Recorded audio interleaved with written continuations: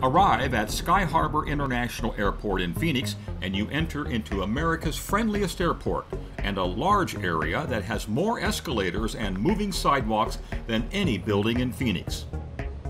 They are indispensable in a modern airport to move people between the light rail stations from one level to another or just to get from point A to point B in a timely fashion so you don't miss your flight.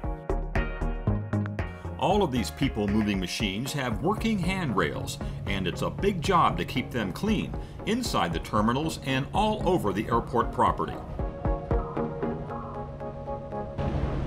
And with 13 escalators at Terminal 3 alone, that comes out to thousands of feet of handrail.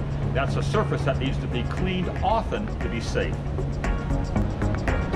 Cleaning crews do some of that work by hand, but now there is a need for more frequent cleaning. The handrails are touched more than anything within the whole airport. Every time you come to the airport and you come down the escalator, you're holding onto the rails for support. So the handrails get touched and the handrails need to be cleaned often, and probably more often than other touch points.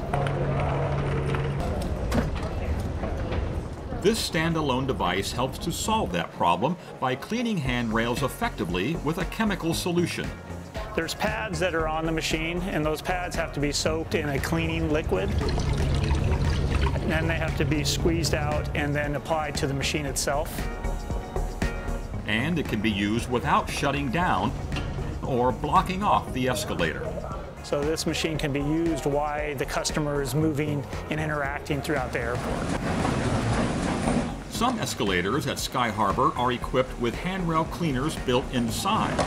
These units have a device in the mechanism that emits an ultraviolet light, disinfecting the rail from underneath. It's a part of the escalator itself, so it's underneath with the motor and everything shining up onto the rail.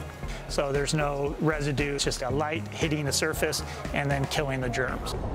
No matter which device is being used, travelers can feel secure knowing that one of the surfaces they are most likely to touch at the airport is being cleaned on a regular basis. For Inside Phoenix, I'm Chuck Emmer.